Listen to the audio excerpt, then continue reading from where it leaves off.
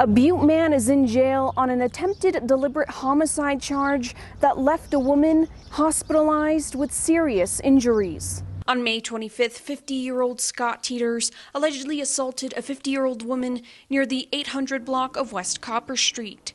When officers arrived, they found the woman had sustained facial injuries, head injuries, allegedly been strangled, and had her eyes gouged. She is in stable condition.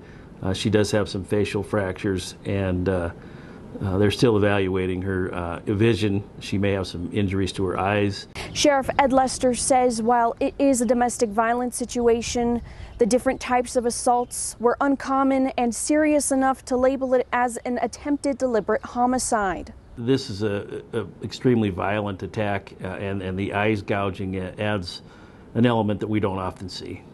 Lester says the Butte Silver Bow Police Department takes domestic violence cases seriously by having one investigator follow up on violent crimes so the victim isn't overwhelmed throughout the investigation. We have one detective that works these cases so the victim has one person to deal with throughout the rest of the case rather than having several officers, and it just adds to a level of comfort. Teeters is currently incarcerated at the Butte Detention Center on a $250,000 bond, and the victim's condition is being evaluated further.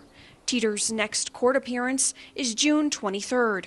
If you or someone you know is in an abusive relationship, contact the police or your local safe space for assistance.